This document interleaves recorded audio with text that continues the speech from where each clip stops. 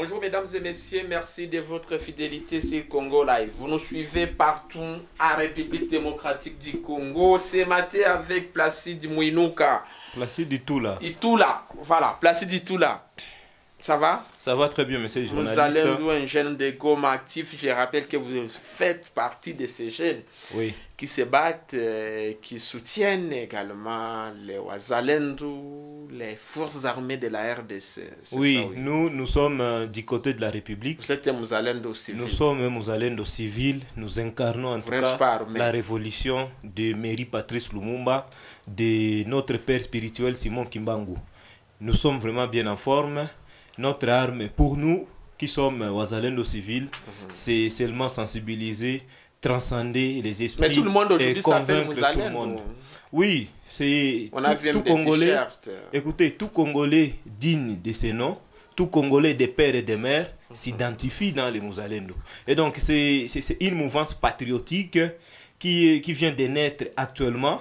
Oui, au fur et à mesure que nous sommes en train de subir des agressions, des exactions, et c'est ainsi, c'est ça même la source de notre motivation patriotique. C'est qu'il faut comprendre. Donc, euh, tout Congolais qui s'appelle Mouzalendo, je vous informe que c'est en connaissance des causes et pour ça on ne peut pas l'en vouloir. On a vu même des t-shirts. Oui, c'est une manière C'est devenu toujours- une marque apparemment. C'est une marque, c'est- c'est c'est une marque comme euh, vous venez de le dire et c'est- c'est- c'est une identité, c'est une identité. Tout Congolais fier de sa patrie, fier de sa nation s'identifie dans cette mouvance patriotique communément appelée Ouzalendo. Et Ouzalendo, comme le mot l'indique, Ouais. c'est un état d'esprit patriotique. Voilà, c'est ça. D'accord. Reviens sur ces nouveaux affrontements. Mesdames et messieurs, vous nous suivez, je vous rappelle que c'est Congo Live Télévision. Nous sommes le jeudi 26 octobre 2023. Ce matin, monsieur Itoula, nous avons appris qu'il y a eu reprise des affrontements entre vous, Azalendou, et les rebelles du M23 à Kibumba. Kibumba, on rappelle que c'est dans les territoires de Nyiragongo, proche de Goma. Qu'est-ce qui se passe ce matin? Oui, comme euh, nous continuerons toujours à le dire, les armes continueront toujours à retentir tant que les rebelles du 23 seront sur les territoires congolais. Et maintenant, partant de cette reprise des affrontements au niveau de Kibumba dans les territoires de Nyiragongo, euh, comprenez, la cité de Kibumba, donc c'est une entité, c'est une agglomération très proche de la ville de Goma. Et pour ça, les rebelles du 23 cherchent à déborder dans la ville de Goma, envie maintenant de s'imposer, envie, euh, bien sûr, euh, de faire en sorte que nos dirigeants congolais voient comment répondre à l'aide déshydratat. Et ça, ça sera maintenant euh, une manière d'aller en négociation, d'aller au dialogue et en étant en position de force. Parce qu'une fois les rebelles du 23 peuvent s'accaparer de la ville de Goma, allez-y comprendre, nos forces loyalistes, même les Ouazalendo, auront du mal à combattre parce que la ville de Goma, c'est une ville qui, est, qui a une population qui est évaluée à environ euh, 2 millions d'habitants. Si près de Goma, Alors, ça sera comme un pari gagné. hein. Voilà, pour eux, prendre la ville de Goma, c'est légitimer d'une manière officielle leurs revendications. Leurs revendications, c'est faire en sorte que le gouvernement congolais puisse se courber à leurs déshydratats, à leurs revendications. Et ainsi, nos dirigeants, lorsque peut-être les rebelles du 23 peuvent s'accaparer la ville, nos dirigeants seront en position de faiblesse et là, ils peuvent céder à tout ce qui aura comme revendication, comme déshydratat des terroristes rwandais du 23 Et pour ça, c'est là que je souligne encore, c'est une ligne rouge que les rebelles du 23 cherchent à franchir. Et comme c'est une ligne rouge, je vous assure, des milliards, des milliards de terroristes rwandais du M23 vont périr là à Kibumba sans pour autant chuter ici en pleine ville de Goma. Donc, eux savent très bien, pour eux, comme Kibumba, c'est aussi une entité se trouvant à quelques kilomètres, très proche du Rwanda, en déclenchant les affrontements ici à Kibumba, d'un côté, donc du côté congolais, ça va susciter de la panique, de la terreur dans les chefs de la population, et ceux-là qui ne résistent pas peuvent commencer déjà à plier bagages, à se mouvoir dans d'autres provinces de la RDC, et ainsi, ça va occasionner donc des déplacements massifs de la population. Et pour eux, c'est déjà un pari gagné lorsque la population, la population sera là à se déplacer, à se mouvoir dans la ville Donc, ça va créer des déplacés internes. Ça, ça va rejoindre effectivement leur plan. Parce que leur plan, c'est de semer panique. Et au travers de la guerre médiatique, ils vont relayer ça partout dans le monde. Ainsi, ça va captiver l'attention de la communauté internationale qui va s'imposer à leur faveur, comme ça a été toujours le cas. Et ça, c'est donc, ça, c'est d'un côté. De l'autre côté, ils savent très bien, en déclenchant la guerre à Kibumba, comme Kibumba, c'est très proche du Rwanda, facilement, les renforts vont survenir, les renforts en hommes et en, en munitions, et là, ils peuvent euh, espérer quand même durer dans cette guerre. C'est ainsi que le jeune Ouazalendo, étant averti par rapport à cette ruse de l'armée rwandaise, oui, ils sont restés toujours aux aguets dans les environs de Kibumba. C'est ainsi que, à l'entame des affrontements, lorsque les terroristes rwandais génocidaires du M23 ont cherché à déborder à Kibumba pour chuter dans la ville de Goma, ils pensaient que la population est distraite. Malheureusement, ce n'est pas le cas. Leur cauchemar est tel que les peuples congolais sont déjà éveillés. La population et les Ouazalendo, tous sont en état d'alerte.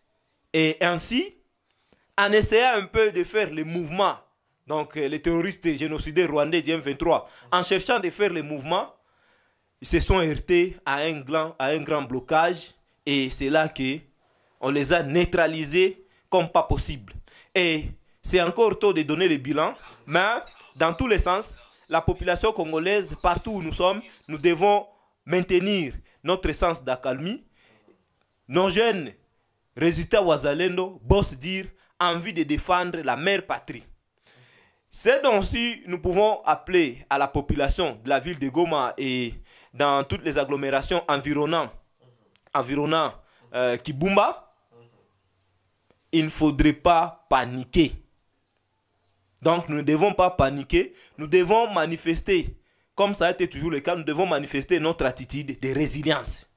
Ah, ça sera une manière de prouver à la face du monde que nous ne sommes plus cette population de l'époque où il suffisait juste euh, qu'il y ait un message, une fausse rumeur comme quoi les rebelles du 23 sont à quelques kilomètres et déjà, sans même pour autant entendre ni euh, un quelconque crépitement de balles, déjà une grande partie de la population s'est déplacée à l'époque. Mais actuellement, ce n'est pas le cas. C'est pourquoi c'est un avertissement, c'est un message fort à tous ceux-là qui continuent à entêter. Mais c'est Paul Kagame, avec tous ces supplétifs de l'armée rwandaise, les terroristes, les génocidaires, RDF, M23, UPDF, tous ces gens doivent comprendre que la population congolaise est déjà mûre. La population congolaise est déjà mature par rapport à sa prise de ses responsabilités. Donc, notre destin est entre nos mains et pour ça, on ne va pas baisser les bras. Tant que les rebelles du M23, les terroristes rwandais du M23 seront sur le sol congolais, les armes ne peuvent jamais se taire. Donc, c'est ça, monsieur le journaliste. Nous continuons à suivre de près ces affrontements. Néanmoins, la victoire sera toujours de notre côté, monsieur le journaliste. Qui a tué les militaires soldats Disons, les soldats, pardon, Kenya, de l'EAC. Non, c'est bien connu, les images satellitaires sont là. Toutes les données, les drones ont montré suffisamment que ce sont des obus largués par l'armée rwandaise du côté du Rwanda en cherchant à, à- bombarder les positionnements de nos jeunes résistants Ouazalendo, mais aussi les positions de nos FRDC, de nos forces loyalistes. C'est ainsi que nos ancêtres les ont confondus. Les obus ont tombé directement dans la position des contingents kenyans de l'EAC. Mais qu'à cela ne tienne, on sait très bien que ce c'est c'est leur jeu. C'est leur dans quel sens? Vous savez, nous, la population congolaise, actuellement, nous ne sommes pas d'accord avec la présence des contingents de l'EAC sur le sol congolais. Et maintenant, ces gens, étant conscients de notre désaccord vis-à-vis de leur présence ici sur le sol congolais, ils cherchent maintenant à faire des scénarios en vue de nous montrer comme si eux aussi sont victimes avec les Congolais au même degré que les Congolais. Donc, sont victimes des atrocités des rebelles du M23 au même degré que les Congolais. Et c'est là où vous avez vu la chute, ou soit euh, la mort d'un élément kenyan qui est venu sous, euh, sous couvert de, de, de l'EAC. Hein? Comprenez au moins. Et là, ils veulent nous montrer psychologiquement comme si euh, eux aussi partagent la même misère que nous. Ça, c'est de la psychologie pure et simple pour voir si du moins la population congolaise peut euh, réduire cette pression populaire par rapport à leur présence sur le sol congolais. C'est ainsi que nous leur disons, malgré leur rise, nous savons très bien, et l'EAC et la MONUSCO, tous ces gens, y compris les terroristes et génocidaires rwandais du M23, tous ont un même plan de faciliter la balkanisation de la République démocratique du Congo pour qu'il y ait occupation, pour qu'il y ait maintenant euh, esclavage, pour, qu'il y ait euh, l'emprise totale de la population congolaise qui restera sous leur joug. Malheureusement, ça ne sera pas le cas. La population congolaise restera solidaire et défendra la mère patrie, défendra la terre de nos ancêtres jusqu'au sacrifice suprême. Heureusement, notre constitution nous donne aussi ce pouvoir de contribuer à la défense de l'intégrité du territoire national contre tous ces envahisseurs extérieurs. Et vous allez gagner la guerre. Mais la victoire est proche. hein. Donc bientôt là, nous allons chanter l'hymne de la victoire et se dissiper. Comme je l'ai souligné tantôt, les rebelles, les terroristes rwandais du M23 cherchent à traverser, à franchir les lignes rouges déjà tracées et par les jeunes résistants Wazalendo, déjà tracées aussi par nos forces loyalistes. C'est là où vous avez vu, avant-hier, le Sukhoi 25 ont pilonné toutes les positions des terroristes génocidaires rwandais du M23 jusqu'à les infliger une lourde perte en vies humaines. Oui, ils ont été neutralisés comme pas possible. Alors pour ça, vu que les terroristes génocidaires rwandais du M23 alliés aussi à ces contingents de l'EAC cherchent à franchir cette ligne rouge, ils vont périr comme Pharaon de la Bible avait péri en cherchant à poursuivre les peuples hébreux. Ouais. Mais la fête sera terrible. Hein? Ça sera plus que terrible. Donc ça sera, je dirais, comme un, désastre. Et ça sera inscrit dans l'histoire de l'humanité. Oui, à cause, bien sûr, de l'hypocrisie, à cause des intérêts égoïstes de la communauté internationale qui manipule effectivement euh, les génocidaires euh, rwandais, M. Paul Kagame. Et M. Paul Kagame aussi comme conséquence, il, il envoie sa jeunesse rwandaise à l'abattoir humain ici au Nord Kivu avec des fausses promesses en leur montrant comme quoi ici au Nord Kivu, ici en RDC, il y a des terres, des terres qui sont riches, ça nous savons très bien qu'ils sont des terres riches, mais qu'eux doivent s'accaparer. Malheureusement, ce n'est pas le cas. Ils vont périr tous ici. Il n'y a personne qui sortira vivant parmi tous ces gens qui viennent envahir la République démocratique du Congo. Et ça, nous le garantissons. Donc, si ça va prendre, si cette guerre va prendre même 10 ans, même 100 ans, au finish, tellement que c'est notre pays, nous, la population congolaise, nous en sortirons vainqueurs. Ça, nous le garantissons. Et vous n'êtes pas d'accord avec les négociations. Vous les dialogues. Ça, c'est déjà une histoire passée. Vous savez, c'est déjà passé. Donc, on ne peut plus revenir sur les affaires de négociations. Les négociations ont déjà prouvé leurs limites. Est-ce que vous savez très bien que c'est à cause de ces négociations que nous sommes là jusqu'aujourd'hui? Les négociations ont commencé avec les accords là de l'Emera. Oui, Joseph Kabila, je ne sais pas, avec les James Kabarebe et tout consort, nous ont embourbés dans des accords, dans des négociations qui n'ont pas d'insi. On ne sait pas qu'est-ce qu'ils avaient signé comme accord, mais jusqu'aujourd'hui, ils viennent revendiquer. Avec les négociations, on les a intégrés dans nos institutions. On croyait que ça va quand même apporter la paix. Mais malheureusement, comme ce sont des éternels insa- insatisfaits, ce sont des serpents, je vous assure, ils ont cherché toujours des moyens. Et ils croyaient que ça sera maintenant une routine. Oui, ils se constituent en des groupes terroristes. Ils partent se réorganiser en Ouganda et au Rwanda. Pendant un petit moment, lorsque il faut maintenant faire revendiquer leurs intérêts, ils viennent bousculer la République. Et les régimes passés, ce sont des régimes qui cédaient à n'importe quelle euh, revendication de ces terroristes génocidaires rwandais. Et ainsi, on les cajolait en leur donnant des postes ministériels, en leur donnant des postes dans, des mandataires dans des entreprises para-étatiques, dans des entreprises publiques en RDC. Oui, DGDA, SNEL, Régie des eaux. À un certain moment, ANER, CENI, donc partout là-bas, ce sont eux qui géraient euh, toutes ces entreprises, toutes ces institutions. Et maintenant, actuellement, ils pensent que ça va continuer comme ça. Et nous, la jeunesse congolaise, nous sommes toujours là, nous chômons, pourtant nous avons des capacités, nous avons des compétences. Nous sommes en mesure de faire quelque chose, euh, d'augmenter aussi notre, de- de présenter nos capacités et voir comment mettre ça à la disposition de notre nation pour que nous puissions contribuer à l'épanouissement et au développement de notre pays. Et seulement à cause de leur esprit égoïste, de leur risque déjà implanté dans l'échec de certains dirigeants congolais de l'époque, ils savent très bien, en bousculant, le gouvernement va céder à leurs caprices. Et maintenant, malgré toutes ces négociations, malgré toutes ces résolutions visant quand même à faciliter qu'il y ait une paix durable dans la sous-région, pour qu'il n'y ait plus des exactions, des massacres des populations civiles innocentes, on les avait intégrés partout dans nos institutions de la République, même au sein de nos FRDC, au sein de nos forces loyalistes. Parmi eux, il y a des gens qui étaient des généraux.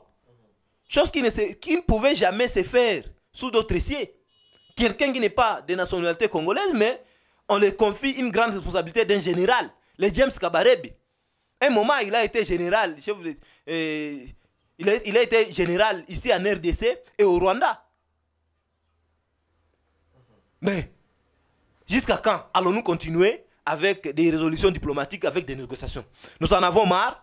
C'est pourquoi, s'il faut qu'on puisse s'entretuer, au moins que nous puissions opter pour cette voie, pourvu que nous nous rassurions. Nous venons d'en finir une fois pour toutes avec cette question de guerre récurrente nous imposée par les terroristes rwandais du M23 en complicité, bien sûr, avec la communauté internationale, messieurs les journalistes. Vous, avez parlé de Sokoi. Encore les Sokoi, vous les avez vus hier. C'est comme si les, Sokoi ont fait rage dans les, euh, dans les Kibumba. Les Sokoi continueront toujours à pilonner toutes les positions des terroristes rwandais du M23 qui chercheront à s'accaparer de la ville de Goma, à s'accaparer de toute la province du Nord, qui vont s'accaparer de la partie est de la République démocratique du Congo. Donc, la RDC restera indivisible. Il n'y a même pas quelques micromètres qui seront cédés à ces terroristes rwandais du M23 avec leurs supplétifs, leurs pays alliés, la communauté internationale, les États-Unis, la France, l'Angleterre, la Belgique. Et donc, c'est ça. Le SICO sera toujours là. Et au moment opportun, ça va réagir. On ne doit pas aviser, nous n'allons pas signaler quand est-ce que le Sukhoi va survoler l'espace aérien congolais pour pilonner les terroristes rwandais. Mais au moins, d'un moment à un autre, vous allez voir notre Sukhoi réagir et pilonner les terroristes rwandais du M23 euh, jusqu'à leur dernier retranchement. Au moins pour ceux-là qui auront cette chance. Voilà. Euh, alors, en tout cas, nous apprenons que les violences combats sont en cours dans les Kibumba et que les déplacés qui sont à Kanya- Kanyaruchinya s'inquiètent, monsieur Placé. Oui, c'est tout à fait normal. C'est la nature humaine. Oui, il y a ceux-là qui ne sont pas habitués à écouter les détonations des armes lourdes et légères. Oui, ils n'ont pas ce cœur dur. C'est tout à fait normal. Donc la population civile, innocente, qui traverse des moments très difficiles euh, dans des camps de déplacés.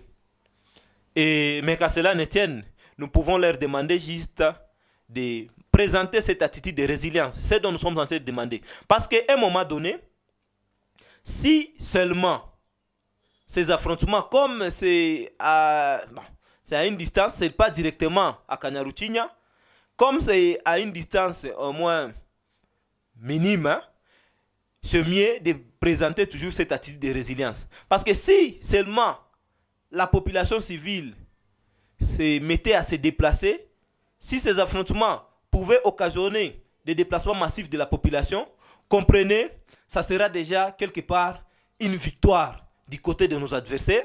Parce que là, ils vont capturer ces images, ces déplacements, en vue de balancer ça partout sur la toile pour maintenant euh, montrer comme quoi, euh, pour eux, même s'ils sont là à Kibumba, ils peuvent déjà euh, montrer par leurs mensonges, par leur guerre médiatique, avec leur armée numérique, ils peuvent faire croire à ceux-là qui ne sont pas sur les champs, ceux-là qui ne sont pas, qui ne vivent pas ces affrontements, ceux-là qui sont très loin, et ils peuvent leur montrer comme quoi ils sont déjà dans la ville de Goma. Et pourtant c'est faux, seulement à cause de ces déplacements, de ces, de, ces mouvements de la population. C'est pourquoi nous appelons toujours la population à maintenir ce sens de résilience et de rester toujours scotché, de rester dans nos entités.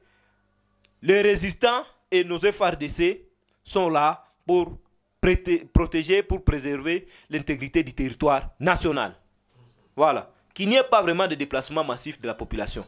Oui, ça, nous les supplions de ne pas se déplacer. Sinon, ça sera un pari gagné du côté de nos adversaires, du côté de ses ennemis, les terroristes rwandais, génocidaires du M23. Voilà. Alors, mesdames et messieurs, vous nous suivez, c'est en direct sur Congo Live Télévision. Nous sommes le jeudi 26 octobre 2023, place là avec nous.